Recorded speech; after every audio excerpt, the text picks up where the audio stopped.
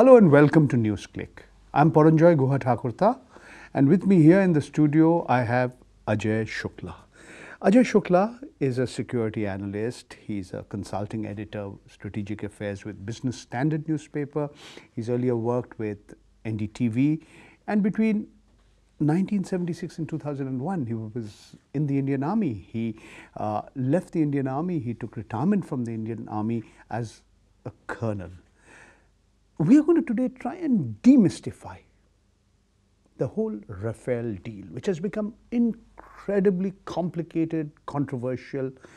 और मैं अजय जी को कहूँगा कि सरल भाषा में समझा देने के लिए कि ये क्या सबसे बड़ा एक घोटाला है? ये बोफोर्स से भी ज़्यादा बड़ा एक घोटाला है? और क्यों इतना विवादित हो गए हैं ये विषय?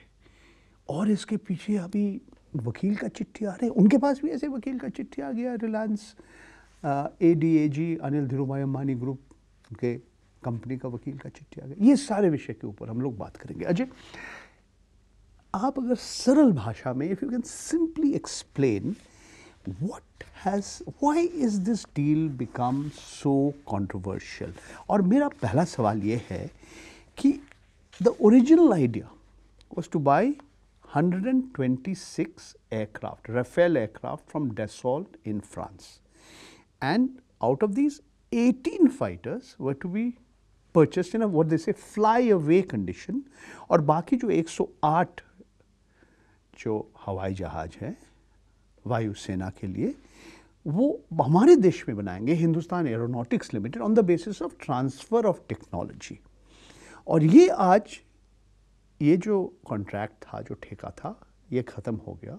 और नरेंद्र मोदी जी, फ्रांस जाने के बाद हम लोग 36 या 36 रफेल एयरक्राफ्ट खरीद रहे हैं। और आरोप है कि ये इसका कीमत तीन गुना बढ़ गया। If you can explain in simple language why did all this happen देखिए इस मामले को पूरी तरह समझने के लिए आ, वक्त में और भी पीछे जाना ज़रूरी है।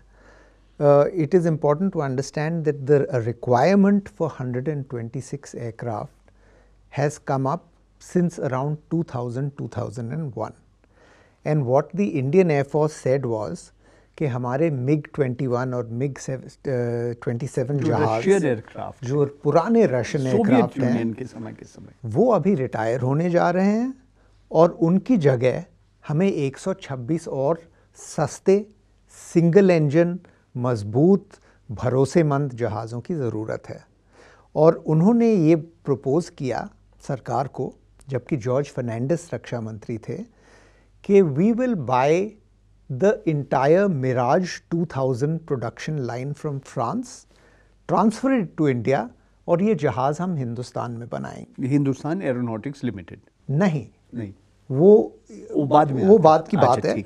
ये पूरी लाइन की लाइन इधर आ जाएगी हिंदुस्तान में और सस्ते sort of तरीके से cheaply and reliably we can build all the aircraft that you want 126 aircraft Mirage 2000 was already in service with the Indian Air Force.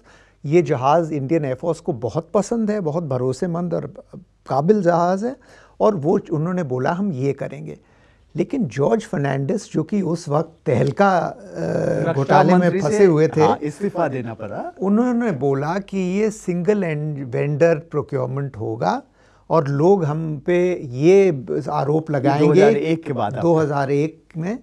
लोग ये आरोप लगाएँगे कि आप जो है मिराज कंपनी या दैसो कंपनी के साथ मिले हुए हैं तो ये हम नहीं करेंगे। आप एक इंटरनेशनल टेंडर में जाइए और 126 जहाज़ों का टेंडर निकालिए। So that was the start of the. Whole thing अब आगे बढ़िए।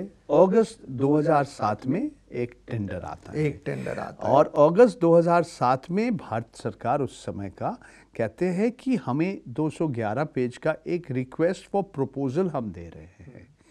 Medium multi role combat MMRC. MMR So that was the the tender was put out in 2007. Replies came in from six global vendors, and चार साल Indian air force ने flight testing वगैरह किया एक बहुत से एक बड़े गहराई में जाके उन्होंने इवैल्यूएशन किया और दो जहाज़ों का हाँ, उन्होंने अप्रैल 2011 में इंडियन एयरफोर्स ने कहा डेसॉक का रेफेल एयरक्राफ्ट और यूरो फाइटर का टाइफून ये फाइनल संघर्ष I mean they are the final content they meet the requirements of the Indian Air Force and whichever is the cheaper one of the two, we will buy that. ये defence procurement procedure के मुताबिक selection procedure है and in 2012 it was decided and it was announced that the Rafale which has been offered by Dassault is the cheapest. We are on track for buying 18 of those aircraft in flyaway condition and building 108 in Hindustan. और उस समय UPA to ए के Antony Bharatvarsh का रक्षा मंत्री थे। बिल्कुल। अच्छा आगे बढ़िए। अभी नया सरकार आ जाता है 2014 में। नहीं नया सरकार नहीं फिर 2012 से लेकर 2014 तक बड़े नेगोशिएशंस चले हिंदुस्तान और और फ्रांस के बीच में दासो कंपनी के बीच में लेकिन कोई फैसला नहीं हुआ। और जब ये नया सरकार आया उन्होंने कंटिन्यू किया ये नेगोशिएशंस और 17 महीने तक कोई फैसला नहीं हुआ।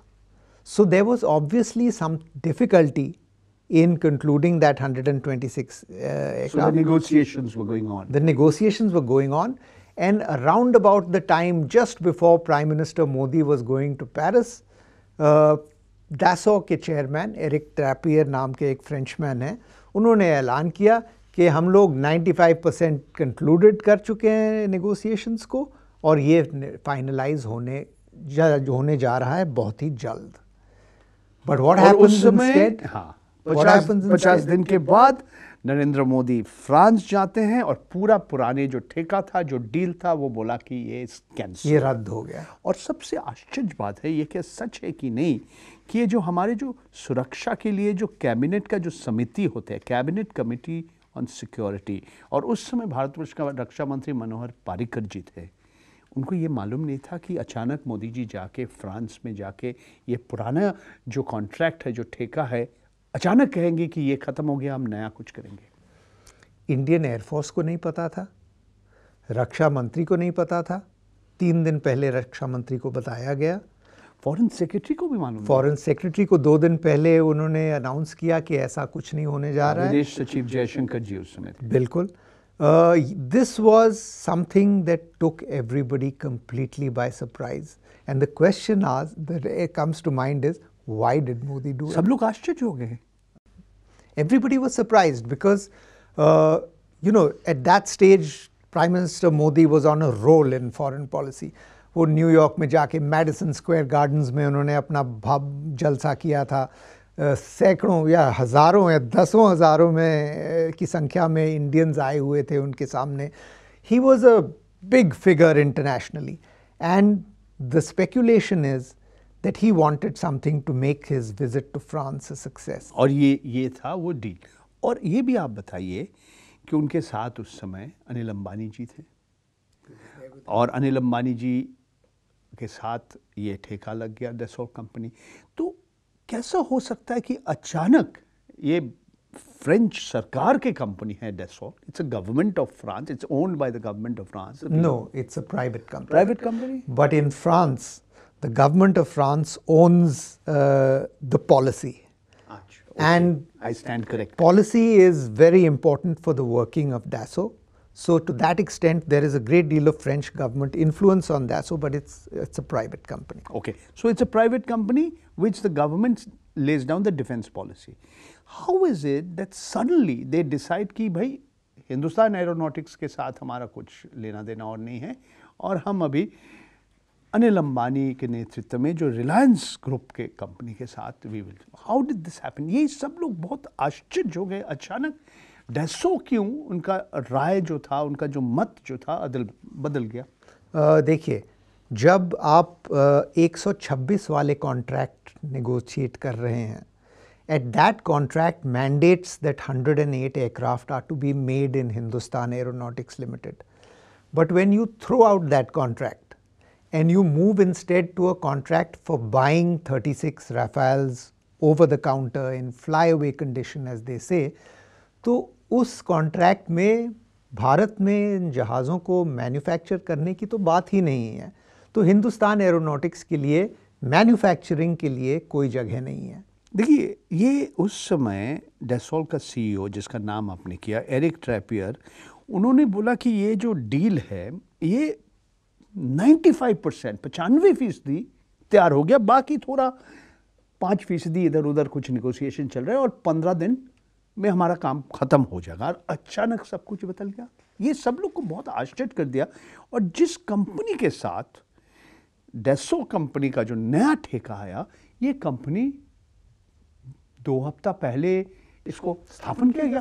That is that is the question that is hanging over this entire contract कोई शायद ही बिलीव करता होगा कि फ्रांस के सरकार ने भारत सरकार को जो है पैसे दिए या कुछ रिश्वत दिए या कोई इंड्यूसमेंट दिया जिससे जहाज़ ये खरीदने का but the question that comes in is why has this company which is known to be close to the government, suddenly Reliance benefited Defense, from yes. the. uh, और और और सबसे जो आश्चर्य बात जो बात बात जो विरोधी दल ये बात कर रहे हैं ये जो अनिल धीरूभाई अंबानी ग्रुप के कंपनी है रिलायंस डिफेंस लिमिटेड इनका कोई एक्सपीरियंस नहीं है। एविएशन में डिफेंस एयरक्राफ्ट तो भूल ही जाइए।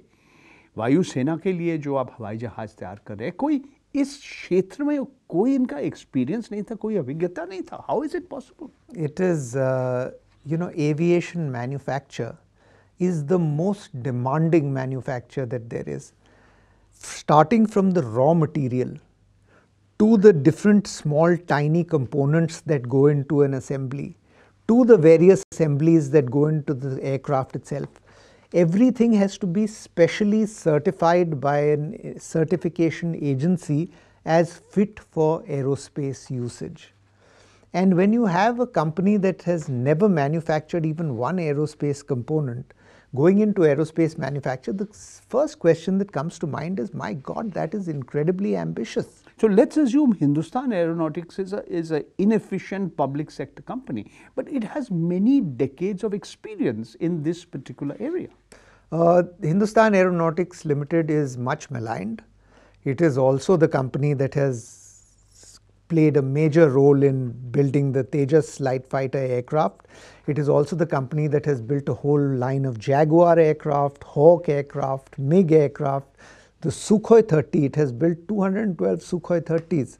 Uh, it is a company with significant pedigree in aerospace manufacture. So, it- to compare Hindustan Aeronautics Limited with any other Indian With company, a company set up two weeks earlier, Reliance Defense far Limited. be it from a company. Even the Tatas and L&T cannot compare with Hindustan Aeronautics when it comes to aerospace manufacture. So leave alone this company that has just been incorporated, the company that has a shipyard that is mm, years overdue on delivering for, for five offshore patrol vessels to the Navy. Uh, there is really no comparison over here.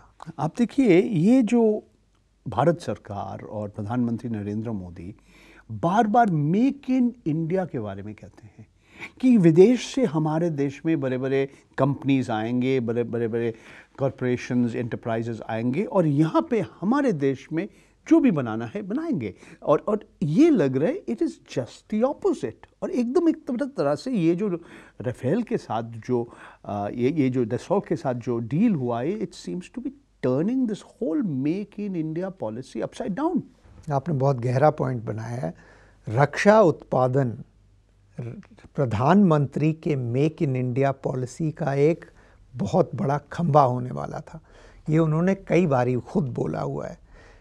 And instead to take this 126 twenty six aircraft deal which was going to be the turning point the inflection point for Indian aerospace manufacture that is going to build up a whole ecosystem of manufacturing within India and to just cancel it and to go in instead for thirty six you know, fully built in France aircraft where not even one little bit of uh, benefit would come to Indian manufacturing, it defies description. It means that Prime Minister Modi completely turned his back on the Make in India policy. Ajay एक और सवाल है कि एक तो है ये make in India दूसरा बात है कि ये जो कंपनी जिसके साथ ये नया ठेका है people are saying that not only do not have experience इनके बहुत सारे कंपनी इन्होंने बैंकों से ऋण लिया और वापस नहीं दे पाया और they are not really not just not qualified, they are financially not so stable because the, the, the companies in the uh, Anil Ambani, Anil Dhirubhai Ambani group, ADAG, have huge non-performing assets running into thousands of crores of rupees. So what do you have to say about this?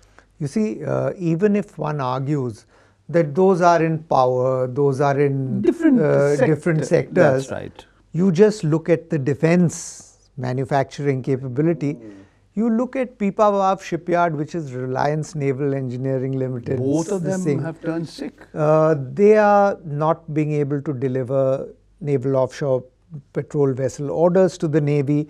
Uh, they don't have, let me put it very simply, without the risk of getting sued, they do not have a track record that inspires confidence.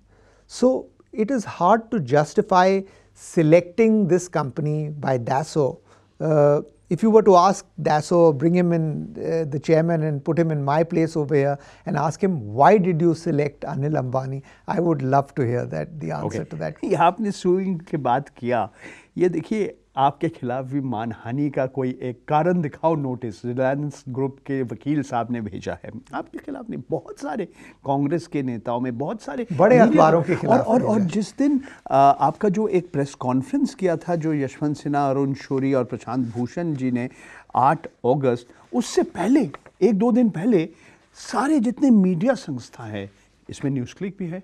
सबके पास एक कारण दिखाओ notice आ गया। Seize and desist तो ये सब लोग आश्चर्य हो गए थे कि क्यों इस विषय के ऊपर आप क्या आप क्या नहीं चाहते कि लोग एकदम दैट शुड बी ट्रांसपेरेंसी एक पारदर्शिता होना चाहिए, क्योंकि ये आपका पैसा, मेरा पैसा, भारत सरकार का पैसा है।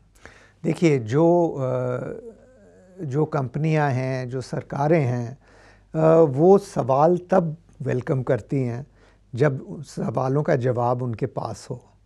जब किसी सवाल का जवाब किसी देश के पास ना हो या कंपनी के पास ना हो तो फिर वो सीज एंड डिजिस्ट नोटिस भेज एक तरह से धमकी। एक धमकी है। आप चुप चुप रहने की जो है प्रेशर डालते हैं। शुक्ला का मुँह बंद होना चाहिए और इसके बाद बाकी लोगों अब आप देखिए मेरा मुँह बिल्कुल बंद हो गया है। मैं कुछ बोलने की हिम्मत नहीं कर एक और आपके पास कारण दिखाओ नोटिस आ जाएगा इस इंटरव्यू के बाद। कोई बात नहीं। अजय एक चीज़ और मैं कहना चाहता ए, सवाल आपसे पूछना चाहता हूँ। ये इंडियन एक्सप्रेस ने कुछ दिन पहले एक आर्टिकल लिखा कि अभी जिस समय अभी जो फ्रांस का जो राष्ट्रपति है उससे पहले जो। France Hollande. था उनका जो पार्टनर थे वो एक एक्ट्रेस है एक्ट, और उनके एक फ़िल्म ने ये रिलायंस कंपनी ने प्रोड्यूस किया। और सब लोग लग रहे कि इसमें भी दाल में शायद कुछ काला है। आपने वो आर्टिकल ज़रूर पढ़े होंगे। आप कब क्या देखिए ये दाल में कुछ काला है बात पीछे रह गई है अभी काली दाल मखनी बन गई है। आ, ये इस सॉर्ट ऑफ़ विषय पे ये फ़िल्म फाइनेंसिंग पे मैं टिप्पणी नहीं देना चाहता हूँ क्योंकि मुझे उसके इतने डिटेल्स पता नहीं है। लेकिन इंडियन एक्सप्रेस का हाँ। जो रिपोर्ट आया है कि रिपब्लिक डे के लिए जब फ्रांसवा होलान साहब यहाँ पे आए थे उस समय उससे दो दिन पहले या दो दिन बाद ये रिलायंस एंटरटेनमेंट ने सीक्वेंस ऑफ़ इवेंट उस उनके पार्टनर के फ़िल्म कंपनी के साथ को प्रोडक्शन का एक अरेंजमेंट जो है साइन किया है। इसका कोई रिबटल नहीं आया है अभी रिलायंस कंपनी के साइड से। कोई सीज एंड डिजिस्ट नोटिस मेरे जानकारी में नहीं आई है। तो हो सकता है कि ये बात, इस बात में कोई सच्चाई हो। एक सवाल मैं आपसे पूछना चाहता हूँ। ये प्राइसिंग के ऊपर। और अलग अलग लोग कह रहे जेटली जी एक चीज़ कह रहे हैं कि राहुल गांधी अलग अलग रेट्स बता रहे हर बार उसका नंबर्स बदल जाते हैं।